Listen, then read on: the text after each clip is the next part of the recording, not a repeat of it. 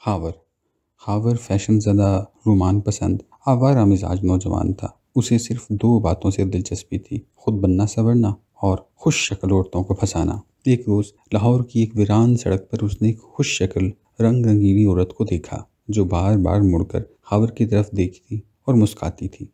ऐसी जाजिब तवज्जो, अनहड़ को माइल बेकरम देख कर हावर अपनी तमाम मसरूफियात भूल गया और उस नाजनीन का पीछा करने लगा। जब सड़क सुनसान हो गई तो उसने चार एक लंबे डग भरे और नाजनीन के मुकाबिल जाकर उसकी बाह पकड़ ली। नाजनीन ने मुस्कुराकर खावर की तरफ़ देखा। अरे नाजनीन के चेहरे पर तो इतनी लंबी दाढ़ी थी। खावर घबरा कर पीछे हटा। तो नाजनीन नुमा बुज़ुर्ग बोले नहीं नहीं कोई फ़र्क नहीं। और से देखो मियाँ तो कोई फ़र्क नहीं। बात एक ही है। ये कहकर उन्होंने खावर की बाह पकड़ ली। खावर उनके पीछे पीछे चल पड़ा और आज वो खुद छाछ सी लंबी दाढ़ी लिए वापडा के एक अकाउंट ऑफ़िस में बैठा है। कुदतुल्ला के भी वही मस्ताक है। कभी तो यूँ लगता है जैसे वो एक शोख मिजाज रंगीले दानश्वर हों। और कभी वो मुँह मोड़ कर देखते हैं तो उनके चेहरे पर लंबी दाढ़ी देखकर घबराहट तारी हो जाती है।